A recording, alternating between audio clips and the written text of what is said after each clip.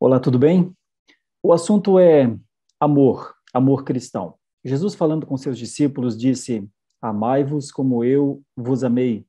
João disse: Nós amamos porque ele nos amou primeiro. E no resumo dos mandamentos, é, também está escrito que nós devemos amar a Deus é, acima de todas as coisas e ao próximo como a nós mesmos. Mas aí vem a pergunta, vem uma pergunta importantíssima. O amor a Deus é diferente do amor ao próximo? Bom, parece que com essas passagens Jesus deixa claro que não existe um amor a Deus e outro amor ao próximo.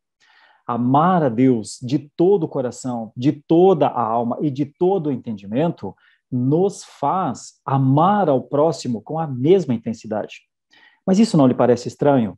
Não parece mais natural pensarmos que amar a Deus é uma coisa e amar ao próximo é outra? Pois é, essa dicotomia no amor, na verdade, evidencia que quem não ama ao seu próximo, na verdade, não ama a Deus. É isso que Jesus perguntou, é isso que a Bíblia fala. Como podem os discípulos depois, como podem dizer que amam a Deus se não amam ao próximo?